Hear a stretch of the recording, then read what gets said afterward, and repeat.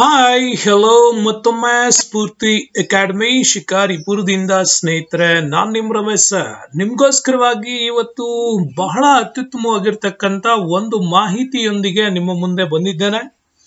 ಅದೇನೆ, ಗಂಗಾ ನದಿಯ ಪಂಚ ಪ್ರಯಾಗಗಳ ಬಗ್ಗೆ ನಿಮಗೆ ಇವತ್ತು ನಾನು ತಿಳಿಸ್ಕೊಡ್ತಾ ಇದ್ದೇನೆ. ಸ್ನೇಹಿತರೆ, ನಿಮ್ಗೆಲ್ಲ ಗೊತ್ತಿರೋ ಹಾಗೆ ಪಂಚ ಪ್ರಯಾಗಗಳ ಬಗ್ಗೆ ಚೆನ್ನಾಗಿ ತಿಳ್ಕೊಂಡಿದ್ದೀರಿ. ಅದರಲ್ಲಿ ನೋಡಿ ಗಂಗಾ ನದಿ ಹುಟ್ಟಿ ಹರಿತಕ್ಕಂಥದ್ದು ಈ ರೀತಿ ಪಂಚ ಪ್ರಯಾಗಗಳ ಮುಖಾಂತರ ಸಾಗಿನೇ ಮುಂದೆ ಗಂಗಾ ಅಂತ ಆಗುತ್ತೆ. ಗಂಗಾ ನದಿಯ ಮೂಲವನ್ನ ಹುಡ್ಕೊಂಡು ಹೊಂಟ್ರೆ ಮೊದಲು ನಮಗೆ ಸಿಗೋದು ಬದ್ರಿನಾಥಲ್ಲಿ. ಬದ್ರಿನಾಥಿಂದ ಪ್ರಾರಂಭವಾಗ್ತಕ್ಕಂತ ಅಲಕಾನಂದ ಸೆಕ್ಟರ್ ಏನಿದೆ, ಈ ಅಲಕಾನಂದದ ಮೂಲ ಸಿಗದೆ ನಮಗೆ ಬದ್ರಿನಾಥ್ ಅಲ್ಲಿ ಈ ಆಲಕಾನಂದದಲ್ಲಿ ಆಲಕಾನಂದ ನದಿಯು ಬದರಿನಾಥಿಂದ ಹುಟ್ಟಿ ಹರಿಯುವಾಗ ಇದಕ್ಕೆ ದೌಲಿ ಗಂಗಾ ಅನ್ನುವ ಒಂದು ನದಿ ಸೇರುತ್ತೆ. ಹಾಗೆ ದೌಲಿ ಗಂಗಾ ಮತ್ತು ಆಲಕಾನಂದಗಳು ಸೇರ್ತಕ್ಕಂತ ಈ ಸ್ಥಳ ಏನಿದೆ, ಇದು ವಿಷ್ಣು ಪ್ರಯಾಗ ಅಂತ ಹೇಳಿ ಕರೆಸ್ಕೊಳ್ಳುತ್ತೆ ಇದು ಪ್ರಯಾಗಗಳಲ್ಲಿ ಒಂದನೇದು ಅಂತ ಹೇಳಲಾಗುತ್ತೆ. ವಿಷ್ಣು ಪ್ರಯಾಗದಿಂದ ಹೊರಟ ನಂತರ ಈ ಆಲಕಾನಂದ ಮತ್ತು ದೌಲಿ ಗಂಗಾ ಇವೆರಡೂ ಕೂಡ ಸೇರ್ಕೊಳ್ತವೆ. ಹಾಗಾಗಿ ವಿಷ್ಣು ಪ್ರಯಾಗದಲ್ಲಿ ದೌಲಿ ಗಂಗಾ ಮತ್ತು ಆಲಕಾನಂದ ಎರಡೂ ನದಿಗಳು ಸೇರಿ ಮುಂದೆ ಹರಿಯುವಾಗ ಇದೇ ಆಲಕಾನಂದಕ್ಕೆ ನಂದಾಕಿನಿ ನಂದಿ ಬ, ನದಿ ಬಂದು ಸೇರುತ್ತೆ. ಯಾವಾಗ ನಂದಾಕಿನಿ ಬಂದು ಸೇರುತ್ತೋ ಆಲಕನಂದ ಮತ್ತು ನಂದಾಕಿನಿ ದೌಲಿ ಗಂಗಗಳು ಸೇರಿ ಹರಿಯುವಾಗ ಇವು ಇಲ್ಲಿ ಜಾಯಿಂಟ್ ಆಗ್ತವೆ. ಇದನ್ನ ನಂದ ಪ್ರಯಾಗ ಅಂತ ಕೂಡ ಕರೀತಾರೆ. ಇದು ಪ್ರಯಾಗಗಳಲ್ಲಿ ಎರಡನೇ ಪ್ರಯಾಗ ಅಂತ ಕೂಡ ಕರೆಸ್ಕೊಳ್ಳುತ್ತೆ. ವಿಷ್ಣು ಪ್ರಯಾಗ ಮತ್ತು ನಂದ ಪ್ರಯಾಗವನ್ನ ದಾಟಿ ಮುಂದೆ ಹರಿಯುವಾಗ ಸಿಗೋದೆ ನಮಗೆ ಕೃಷ್ಣ ಪ್ರಯಾಗ. ಇದು ಮೂರನೇ ಪ್ರಯಾಗ. ಕೃಷ್ಣ ಪ್ರಯಾಗದಲ್ಲಿ ಏನಾಯ್ತು ಅಂತಂದ್ರೆ ಇದೇ ಆಲಕಾನಂದ ನದಿಗೆ ಪಿಂಡಾರ್ ಗಂಗಾ ಅನ್ನುವ ನದಿ ಕೂಡ ಬಂದು ಸೇರುತ್ತೆ. ಓಕೆ ಈ ಪಿಂಡಾರ್ ಗಂಗಾ ಅನ್ನುವ ನದಿ ಬಂದು ಸೇರೋದ್ರಿಂದಾಗಿ ಈ ಪ್ರದೇಶದಲ್ಲಿ ನೀವು ನೋಡಬಹುದಾಗಿರ್ತಕ್ಕಂಥದ್ದು ಈ ಕೃಷ್ಣ ಪ್ರಯಾಗದ ವಿಚಾರ. ಹಾಗಾಗಿ ಮೂರು ಪ್ರಯಾಗಗಳ ಬಗ್ಗೆ ನಿಮಗೆ ಹೇಳದೆ ಈಗ. ವಿಷ್ಣು ಪ್ರಯಾಗ, ನಂದ ಪ್ರಯಾಗ, ಕೃಷ್ಣ ಪ್ರಯಾಗ. ಕೃಷ್ಣ ಪ್ರಯಾಗದ ಮುಂದೆ ಆಲಕಾನಂದಿ ನದಿ ಹರಿತ ಮುಂದೆ ಬರುವಾಗ ನಮಗೆ ಸಿಗ್ತಕ್ಕಂಥದ್ದೇ ರುದ್ರ ಪ್ರಯಾಗ.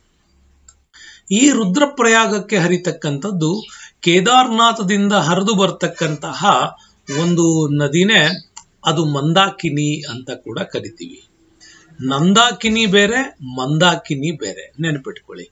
ಈ ಮಂದಾಕಿನಿ ನದಿ ಕೇದಾರ್ನಾಥಿಂದ ಹರಿಯುತ್ತೆ. ಕೇದಾರ್ನಾಥದಿಂದ ಹರಿದು ಬಂದು ರುದ್ರಪ್ರಯಾಗದಲ್ಲಿ ಸೇರುತ್ತೆ. ಹಾಗಾಗಿ ಆಲಕಾನಂದ ಮತ್ತು ಮಂದಾಕಿನಿ ನದಿಗಳು ಸೇರೋದು ರುದ್ರಪ್ರಯಾಗದಲ್ಲಿ. ರುದ್ರಪ್ರಯಾಗದಿಂದ ಮುಂದೆ ಬಂದ್ರೆ ದೇವಪ್ರಯಾಗ ಅಂತ ಕೂಡ ಕರಿತೀವಿ. ಇದು ನಮ್ಮ ಐದನೇ ಪ್ರಯಾಗ. ಓಕೆ ರುದ್ದೇವ ಪ್ರಯಾಗ ಅಂತ ಕರಿತೀವಿ. ಈ ದೇವಪ್ರಯಾಗದಲ್ಲಿ ಬಂದು ಸೇರ್ತಕ್ಕಂಥದ್ದೇ ನಮಗೆ ಭಗೀರಥಿ ನದಿ. ನೆನಪಿಡ್ಕೊಳ್ಳಿ ಭಗೀರಥಿ ಹುಡ್ತಕ್ಕಂಥದ್ದು ಗಂಗೋತ್ರಿ ಗ್ಲಾಸಿಯರ್ ಅಲ್ಲಿ ಹಾಗಾಗಿ ಗಂಗೋತ್ರಿ ಗ್ಲಾಸಿಯರ್ ಅಲ್ಲಿ ಭಗೀರಥಿ ಹುಟ್ಟತ್ತೆ, ಕೇದಾರ್ನಾಥದಲ್ಲಿ ಮಂದಾಕಿನಿ ಹುಟ್ಟತ್ತೆ, ಬದ್ರಿನಾಥದಲ್ಲಿ ಅಲಕಾನಂದ ಹುಟ್ಟತ್ತೆ. ಹಾಗೆ ಯಮುನೋತ್ರಿಯಲ್ಲೂ ಕೂಡ ಯಮುನಾ ನದಿ ಹುಟ್ಟತ್ತೆ. ಹೀಗೆ ಭಗೀರಥಿ ನದಿ ಬಂದು ಸೇರೋದು ದೇವಪ್ರಯಾಗದಲ್ಲಿ. ಹಂಗಾಗಿ ಪ್ರಯಾಗಗಳಲ್ಲಿ ವಿಷ್ಣು ಪ್ರಯಾಗ, ನಂದ ಪ್ರಯಾಗ, ಕೃಷ್ಣ ಪ್ರಯಾಗ, ರುದ್ರ ಪ್ರಯಾಗ ದೇವಪ್ರಯಾಗ ದೇವಪ್ರಯಾಗದಿಂದ ಮುಂದೆ ಈ ನದಿಯನ್ನೇ ನಾವು ಕರೀತಕ್ಕಂಥದ್ದು ಗಂಗಾ ಅಂತ. ಈ ಗಂಗಾ ಮತ್ತು ಯಮುನಾ ನದಿಗಳು ಸೇರ್ತಕ್ಕಂಥದ್ದು ಪ್ರಯಾಗ್ ರಾಜ್ ಅಲ್ಲಿ ಹಾಗಾಗಿ ಈ ಪಂಚ ಪ್ರಯಾಗಗಳಿಗೂ ರಾಜ ಪ್ರಯಾಗ್ ರಾಜ್ ಅಂತ ಹೇಳಿ ಅದಕ್ಕೋಸ್ಕರ ಕರೀತಕ್ಕಂಥದ್ದು. ಓಕೆ ಇಂಥ ಪಂಚ ಪ್ರಯಾಗದಲ್ಲಿ ಗಂಗೆ ಮತ್ತು ಯಮುನೆ ಎರಡೂ ನದಿಗಳು ಸೇರ್ತವೆ. ಈ ಹಿಂದೆ ಸರಸ್ವತಿ ನದಿಯ ಸಂಗಮವೂ ಕೂಡ ಇಲ್ಲಾಗಿತ್ತು ಅಂತ ಕೂಡ ಹೇಳಲಾಗುತ್ತೆ. ಹಾಗಾಗಿ ಪ್ರಯಾಗ್ ರಾಜ್ ಅಂತಕ್ಕಂಥದ್ದು ಯಮುನಾ, ಗಂಗಾ ಮತ್ತು ಸರಸ್ವತಿ ನದಿಗಳ ಸಂಗಮ ಕ್ಷೇತ್ರ ಅನ್ನುವ ನಂಬಿಕೆ ಈಗಲೂ ಕೂಡ ನಮ್ಮಲ್ಲಿದೆ. ಆದರೆ ಸರಸ್ವತಿ ನದಿಯ ಬಗ್ಗೆ ಉಲ್ಲೇಖಗಳಿದಾವೆ ವಿನಃ ಅಲ್ಲಿ ಯಾವುದೇ ರೀತಿಯಿಂದ ಸ್ಥಳದ ಪ್ರೂಫ್ಗಳು ಕೂಡ ನಮಗೆ ಸಿಗದಿಲ್ಲ. ಆದರೂ ಕೂಡ ಈ ಪಂಚಪ್ರಯಾಗಗಳ ಬಗ್ಗೆ ಇವತ್ತಿನ ನಿಮ್ಮ ಈ ಶಾರ್ಟ್ ವಿಡಿಯೋದಲ್ಲಿ ಒಂದು ಅತ್ಯುತ್ತಮ ಮಾಹಿತಿಯನ್ನ ತೆಗೆದುಕೊಂಡಿದ್ದೀರಿ. ತಮ್ಮೆಲ್ಲರಿಗೂ ಕೂಡ ಧನ್ಯವಾದಗಳು. ಮುಂದಿನ ವಿಡಿಯೋದಲ್ಲಿ ಮತ್ತೊಮ್ಮೆ ಸಿಗೋಣ. ಯಾರು ಚಾನೆಲ್ನ ಸಬ್ಸ್ಕ್ರೈಬ್ ಮಾಡಿಲ್ಲ, ದಯವಿಟ್ಟು ಸಬ್ಸ್ಕ್ರೈಬ್ ಮಾಡ್ಕೊಳ್ಳಿ. ಅದಕ್ಕೋಸ್ಕರವಾಗಿ ನೀವು ತುಂಬ ಎಂಜಾಯ್ ಮಾಡ್ಬೋದು ಅಂತ ಹೇಳ್ತಾ ಈ ವಿಡಿಯೋಕ್ಕೆ ಧನ್ಯವಾದಗಳು. ನೆನಪಿರ್ಲಿ ಸ್ನೇಹಿತರೆ, ಪ್ರತಿದಿನ ಸಂಜೆ ಮಾಡರ್ನ್ ಇಂಡಿಯನ್ ಹಿಸ್ಟ್ರಿಯ ಕ್ಲಾಸ್ಗಳು ಬರ್ತಾ ಇದೆ. ಅದನ್ನು ನೋಡಿ ಎಂಜಾಯ್ ಮಾಡಿ. Thank you